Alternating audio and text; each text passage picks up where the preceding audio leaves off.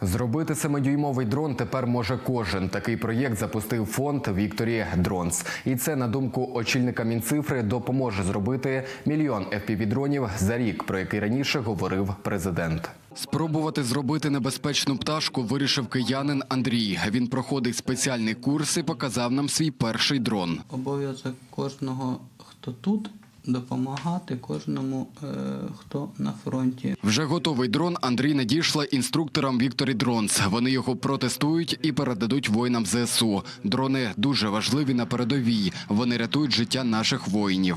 Війна це трошки гра грошей, як не крути. І якщо отакий FPV-дрон за умовних 400 доларів зможе полетіти і знищити за 100 тисяч доларів якусь техніку, ну це дуже великий результат. Курс триває два тижні і повністю безоплатний. Навчатимуть інструктори фонду. Підтримують проєкт Народний дрон і ветерани війни. Декілька пташок Сергія вже допомагають на полі бою. Кожен дрон він називає іменем загиблого побратима. Це два е, таких процеси. Поки держава не налагодила і не запустила процес серійного і масового виготовлення дронів, то військові залюбки використовують е, в своїй роботі е, ті дрони, які, як умовно кажуть, е, збирають на кухні. Тил може допомогти робити небезпечні подарунки для російських окупантів. Проте це не замінить серійне виробництво небезпечних пташок. Переконані фахівці проєкту Крила помсти. Вони можуть виготовляти до 100 тисяч дронів за два місяці,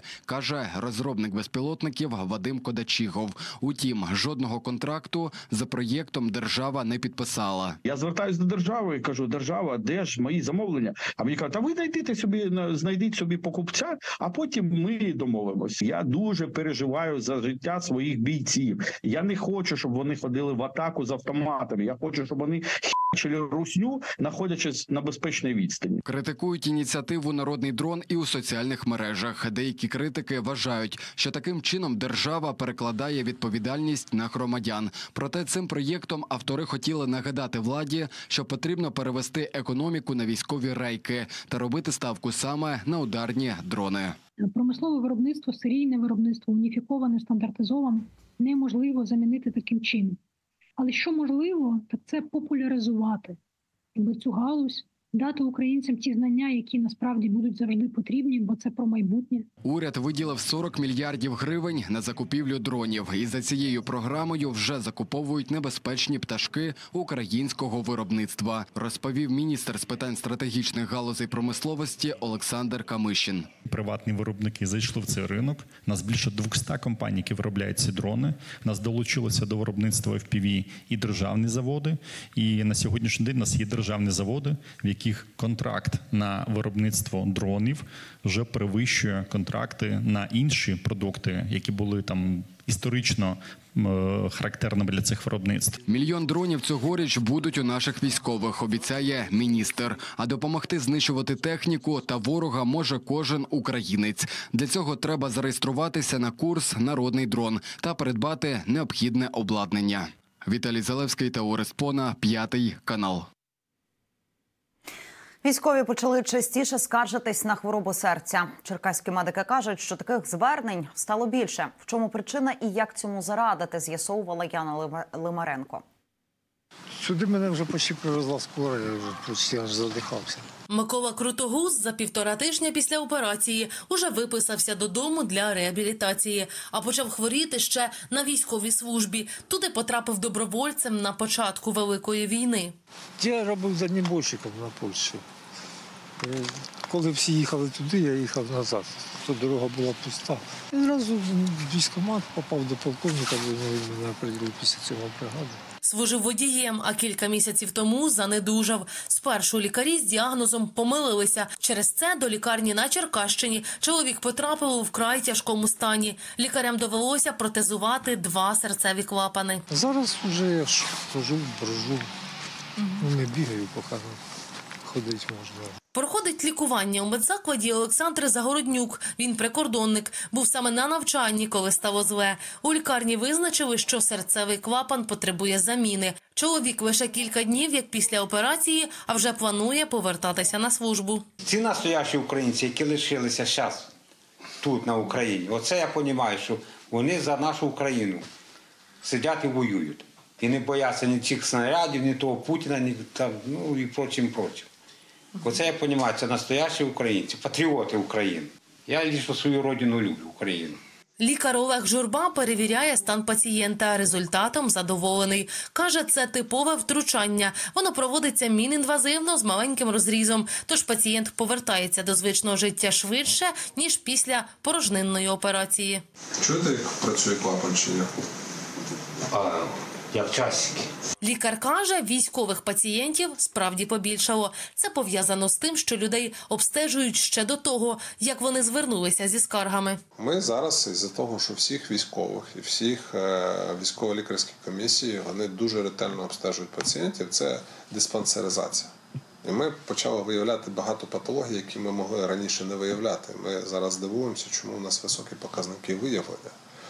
Вони тільки із-за того, що ми дуже ретельно всіх обстежуємо. Ми маємо різні патології, клапанні вади, гіпертрофічні кардіоміопатії, ураження коронарних артерій. І е, при тому, що ми маємо е, зазвичай це на третій, четвертій стадії захворювання. Зараз ми вже бачимо так, як мало би бачити е, в розвинутих країнах Європи першу другу стадію. Лікар просить не ігнорувати профогляди всіх українців, щоб вчасно виявити хворобу.